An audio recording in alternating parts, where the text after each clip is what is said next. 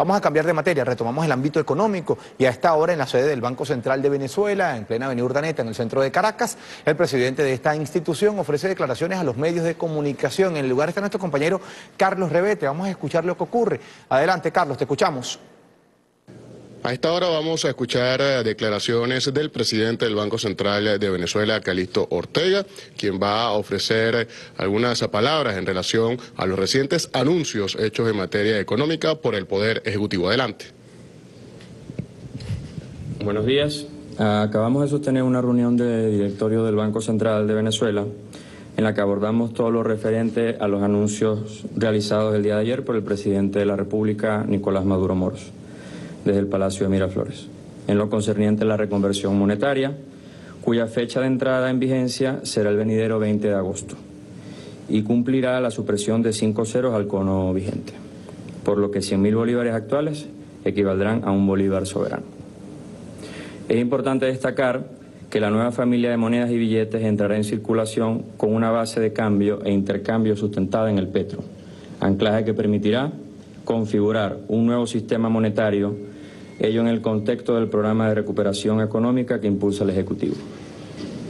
Durante la reunión del directorio también debatimos sobre el establecimiento de una hoja de ruta para la entrega de las piezas que integran el nuevo cono monetario para la banca, así como la realización de las pruebas pertinentes para la aplicación de la nueva escala monetaria.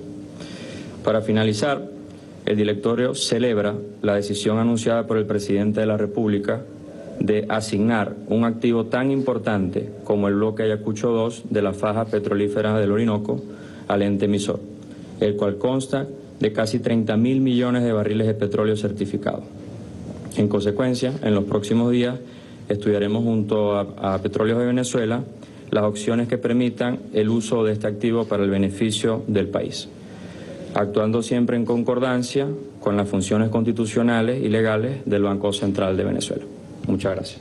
Escuchábamos palabras de Calixto Ortega, presidente del Banco Central de Venezuela. Como ustedes han escuchado en directorio, fueron discutidos los anuncios realizados el día de ayer por el Poder Ejecutivo, entre los cuales hay que destacar lo que será la puesta en escena de la nueva reconversión monetaria para el próximo 20 de agosto, algo que ha sido visto de forma positiva por el Banco Central de Venezuela. De igual manera, algo que estará en estudio también con una visión bastante positiva, como lo dijo el presidente de la República, la entrega del eh, espacio Ayacucho 2 con más de 29 mil millones de barriles certificados, esto con el uso exclusivo para el Banco Central de Venezuela y su sustento en esta nueva estructura económica que ha anunciado el presidente de la República para la nueva eh, visión, el nuevo crecimiento productivo de la República Bolivariana de Venezuela. Con esta información nosotros vamos a retornar nuevamente el pase a los estudios. Adelante.